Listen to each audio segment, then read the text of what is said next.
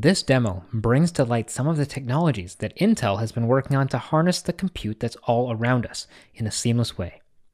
It puts us one step closer to making tons of compute power available to every person on Earth. Let's use the example of Hitman 3, a AAA title from IO Interactive running on a thin and light laptop. Although this PC is not designed for gaming, the game is quite playable thanks to generational advancements of Intel integrated graphics.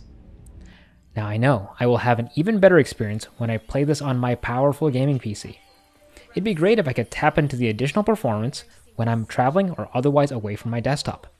And we'll get to that in a second. But before I walk Agent 47 into the party here, let me save my progress and exit the game.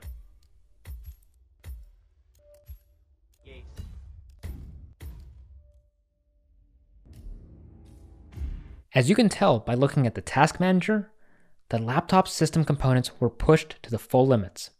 I've got this powerful gaming rig with a discrete GPU, and it's just sitting idle.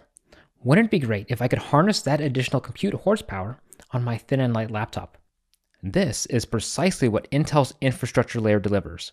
It senses additional compute resources available within the network and intelligently allocates it to me, delivering the best user experience possible. Now I'm going to run the game again from the exact same laptop as before. As you can see, the way that I launched the game has not changed at all, and the game itself does not need any modification. Loading the game is no different from before. It's seamless and transparent. As the game launches, at runtime, the infrastructure layer determines that a better experience is possible using ambient computing resources from my gaming rig. Also note that I'm picking up exactly where I left off from my prior session even though the game is now running on my gaming machine. This is made possible by system resource abstraction.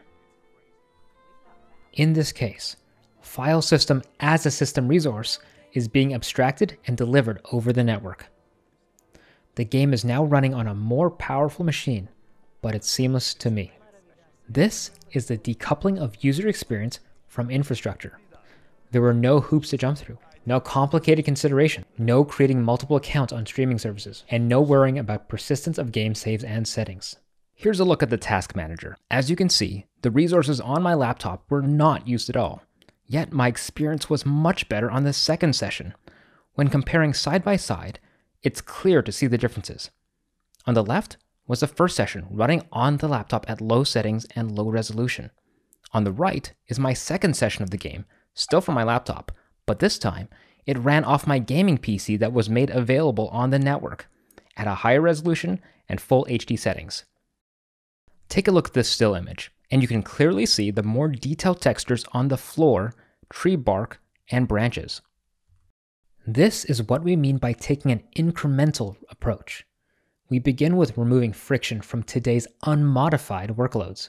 Over time, we will incrementally build workloads that can exploit the flexibility of infrastructure layer.